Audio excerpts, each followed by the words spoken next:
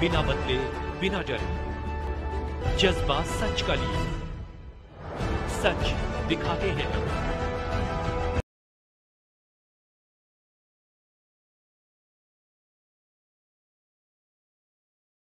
यशपाल आर्य ने मनाई अंबेडकर जयंती। बाबा साहेब भीमराव अंबेडकर की एक जयंती के मौके पर हल्द्वानी में कैबिनेट मंत्री यशपाल आर्य ने अपने घर में कोरोना संक्रमण के चलते सोशल डिस्टेंसिंग का पालन करते हुए अकेले ही संविधान निर्माता बाबा साहेब भीमराव अंबेडकर को जहाँ श्रद्धा सुमन अर्पित किए तो वहीं कैबिनेट मंत्री उत्तराखंड सरकार यशपाल आर्य का कहना है कि संविधान के निर्माता बाबा साहब का मूल्य योगदान सदैव याद रखा जाएगा।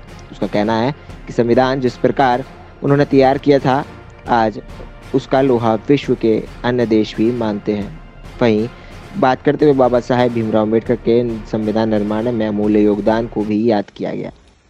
डॉक्टर बाबा साहब भीमराव अंबेडकर जी का आज एक जयंती है।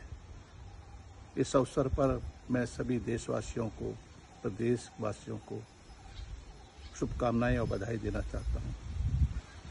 बाबा साहब की जो जीवन संघर्ष यात्रा, राष्ट्र सेवा, उनके जो विचार प्रेरणादायक हैं। उन्होंने दलितों, शोषितों, वंचितों को नई दिशा दी। उनके जीवन में प्राण भरने का काम किया। और आज बाबा साहब हमारे बीच में नहीं हैं, लेकिन जो उनके विचार हैं, उनको आत्मसात करने की आवश्यकता है। शिक्षित होने की आवश्यकता है, संगठित होने की आवश्यकता है, संघर्षशील होने की ज़रूरत है। और निश्चित रूप से हमें उनके विचारों को जन जन तक पहुंचाना चाहिए। उनके विचारों को हमें गोष्ठियों के माध्यम से, सभाओं के माध्यम से आपस में आदान प्रदान कर